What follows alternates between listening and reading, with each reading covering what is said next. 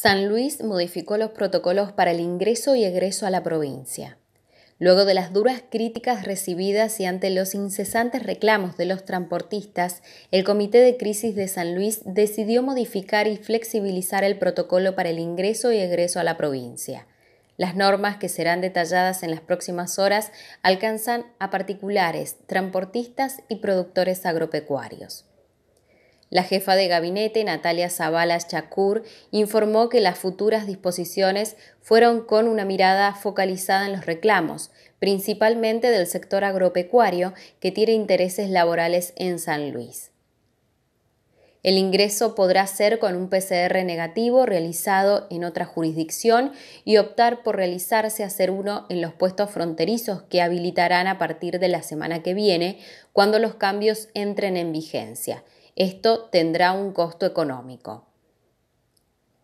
El resultado negativo en cualquiera de estos casos permitirá a la persona que ingresa circular por el término de hasta 72 horas.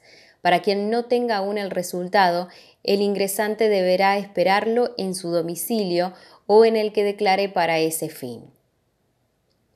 Cumplido el plazo de los tres días, la persona deberá abandonar San Luis u optar por completar un aislamiento de siete días y realizarse un nuevo PCR.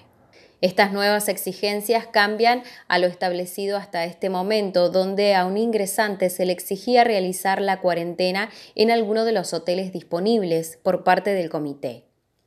No hemos logrado que los productores se sienten a dialogar. Esto se decidió ante la posibilidad de que corten la ruta, que la verdad no es la manera de resolver las cosas.